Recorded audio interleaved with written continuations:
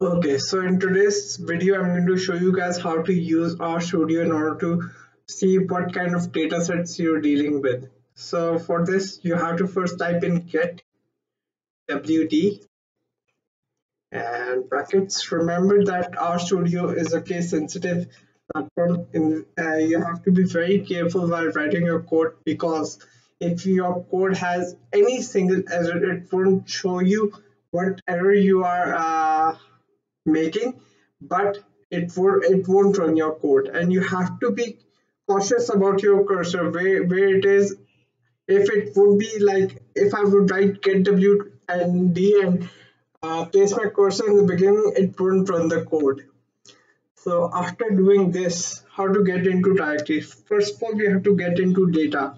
So first i'm going to write data 8 you can use any sort of variable with data because data is its own uh, uh, backend uh, programming is done on data. So you have to use some other name like data 8 data 9 or you can use any sort of variable to store your data in. Then we have to write read dot. So now i'm dealing with a csv file so i have to write read dot CSV otherwise you have a wide option of using all types of files. You can even use registry file in order to read the data, but I have a read CSV file right now, so I'm going to go for read.csv. Uh, and before that, before doing all that, I have to be in that respective file where my actual file belongs in.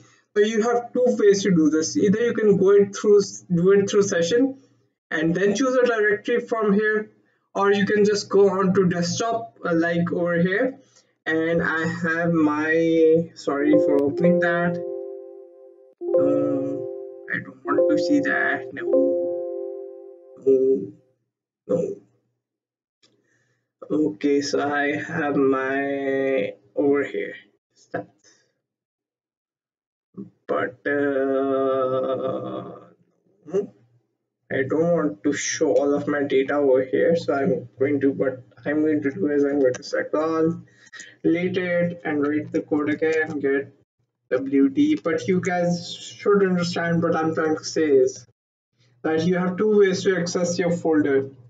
Now I have to write the code again data for example 7 here dot csv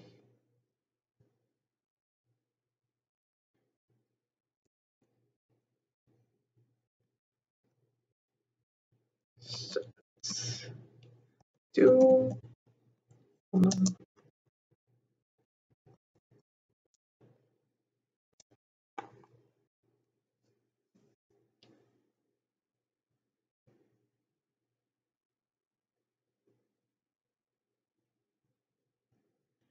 Okay, I have to go in my file over here and write stats 2 comma header is equals to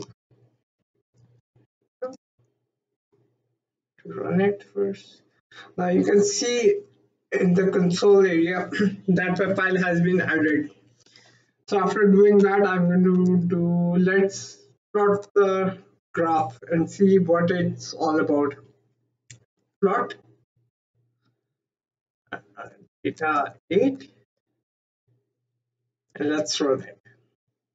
Now you see over here, it's showing data regarding bank, walk, talk, and heart now let's go ahead and do a linear regression on it. And then do this this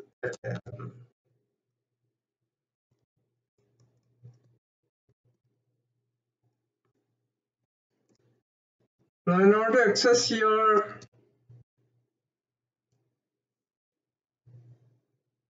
Stepford. Wait, after first three. Uh,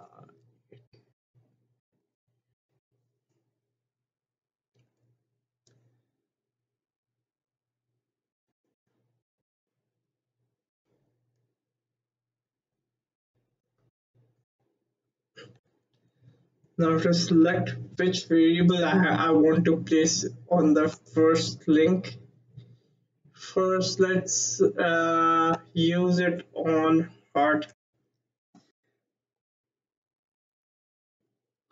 So heart is going to be the dependent variable and rest of the variables are going to be the independent vari uh, variables.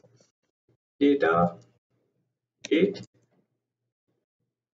dollar sign walk now when you are dealing with multiple variables you have to add plus to link it with the link the independent variable with the dependent one.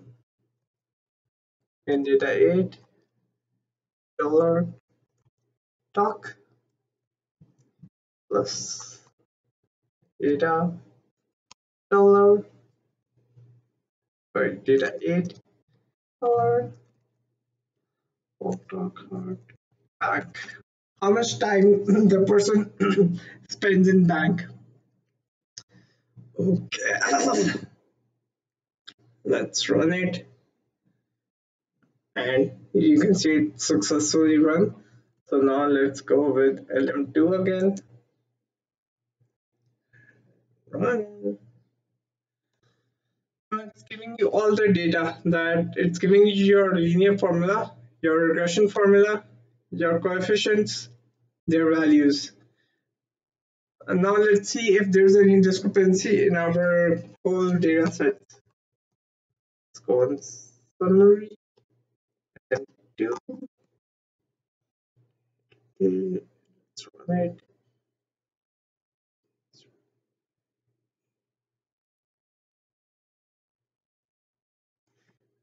Okay, so now it's giving us uh, significant codes along with all the values of estimated standard error, t-value, and everything else. Uh, so as you can see, there's a negative sign over here. So this negative sign states that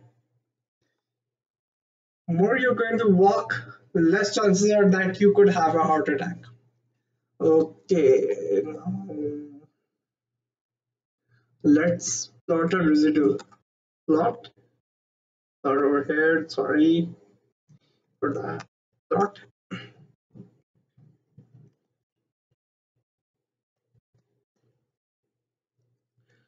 Um, two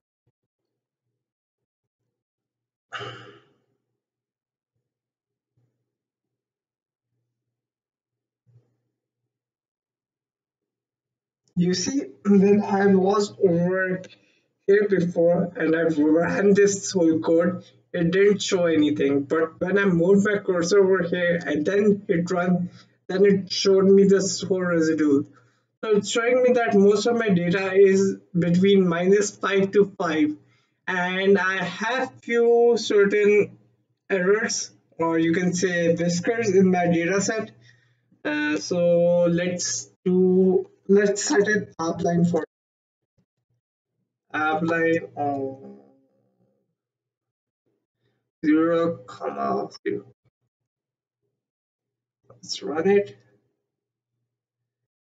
So now it's giving me that this is my abline. So what I'm going to do is I'm going to plot it just to see if my data is how much correct my data is. We have to check that too. So now I'm going to plot lm2 comma which is equal to 1. Now as you can see that this red line is closer to my abline that means that my data is sufficiently correct. So it's sufficiently correct though. And my p-value is 0.04. It's less than 0.05. That's a good thing. And my f-tastic is 3.073, which is also good. And that's how you get to analyze your data. Now that's all for today. Please do like and subscribe my channel. Thank you.